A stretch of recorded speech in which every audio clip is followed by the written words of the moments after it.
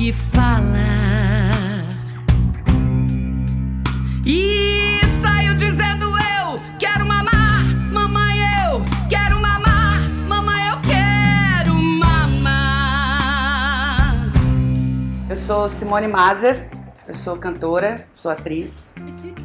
E o Férias em Videotape, para mim, ele está sendo um álbum muito significativo, que ele marca um ponto muito importante da minha carreira. A gente pode chamar de um lançamento nacional desse trabalho que eu tenho já há 26 anos. Começou lá em Londrina e veio sendo trilhado pouco a pouco, bem pouco a pouco, até chegar ao que eu tenho hoje. Cante uma canção lenta,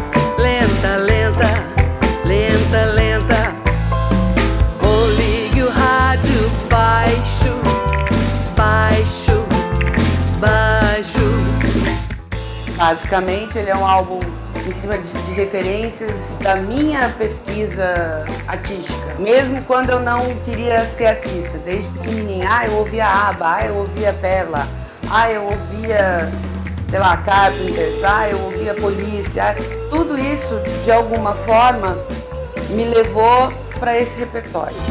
Daí, hey, eu te prometo, hey, prometo sim,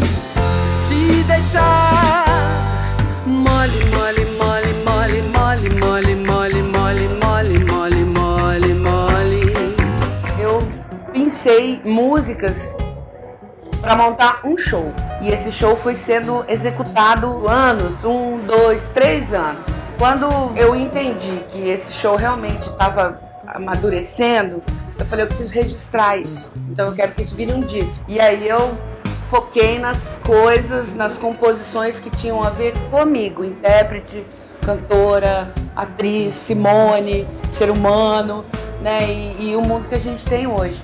E eu sempre gostei muito de misturar. Eu não tenho muito uma gavetinha assim, ah, Simone canta, nanã, canta X, canta. Então eu, eu gosto dessa salada. E eu acho que isso me identifica muito, isso me, me representa. E acho que o disco é um, é um, um resultado disso. E o meu tango encrustará